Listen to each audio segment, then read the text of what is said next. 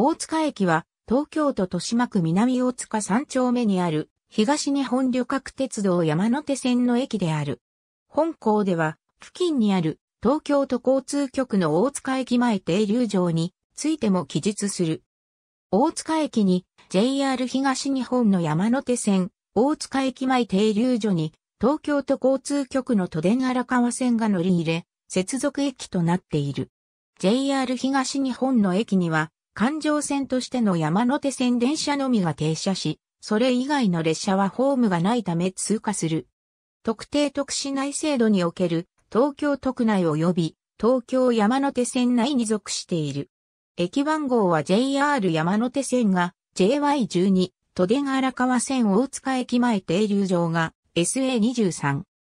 駅ビル建設のため2009年に解体された旧駅舎駅ビル建設前の南口1928年から1944年の間に撮影された大塚駅大塚駅周辺の白黒空中写真国土交通省国土地理院地図、空中写真閲覧サービスの空中写真をもとに、作成山手線の駅は、日本鉄道が当時の目白停車場付近から田端停車場までを短絡する路線を敷設した際に設置された。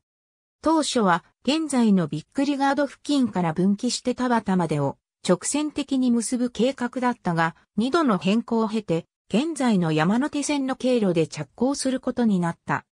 この着工時の計画では、当地の小技から宮中停車場とされていたが、開業時には東京市内の最寄りの地名から大塚停車場と名付けられている。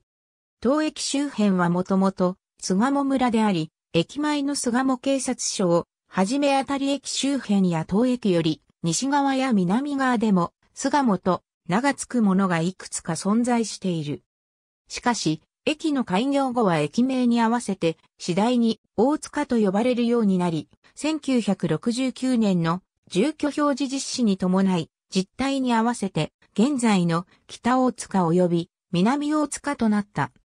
駅名から町名が変更された例としては、山手線沿線では他に、恵比寿、代々木、高田馬場、目黒、沿線以外では、新小岩、中板橋等がある。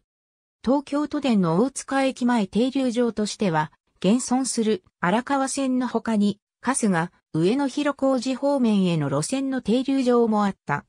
ただし、飛鳥山停留場の場合と異なり、現在の荒川線とは、線路は繋がっていなかった。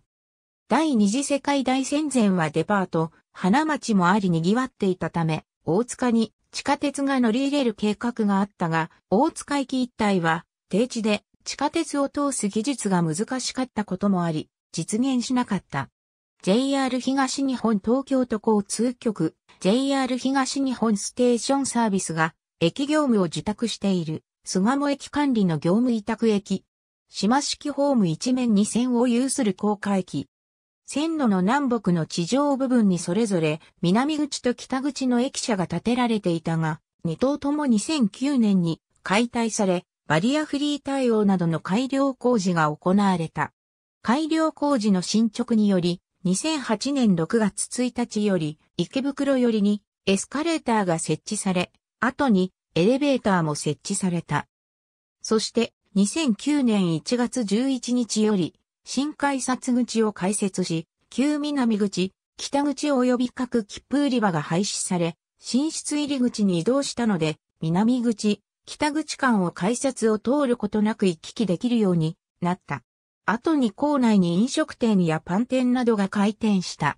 2013年、駅南口に地上12階、地下1階の駅ビル、JR 大塚南口ビルが建造された。地下1階地上4階には、複合商業施設、アトレビ大塚が入っているほか、スポーツ施設、保育園、オフィスなどが入居している。また都電大塚駅前停留場への連絡通路の確保や環境に配慮した設備の導入などがなされている。乗り場相対式ホーム2面2線を有する地上駅。JR 高架下大塚駅の巣鴨方ガード下いっぱいに停留場が設けられている。同駅の南口、北口双方から東停留場に至ることが可能で、事実上、JR の駅の自由通路を兼ねている。このホームを経由して大塚駅の南北を移動する人も多い。西側の線路に上り、東側の線路に下りの電車が発着する。駅の向かい原方には渡り線があり、大塚駅前止まりの電車がこれを用いて転線する様子を見ることができる。下りホームの北端近くに窓口があり、定期券などを販売している。各年度の1日平均乗車人員数は下表の通り。かつては南口駅前広場に一番乗り場があるたは、近辺の路上に設置されている状態だったが、駅前ロータリー整備に伴い、すべて大塚駅南口交差点部分に集約された。停留所名は大塚駅前となっている。すべて都営バスである。注釈出展広報資料、プレスリリースなど一時資料大塚駅前停留場に関するカテゴリー。ありがとうございます。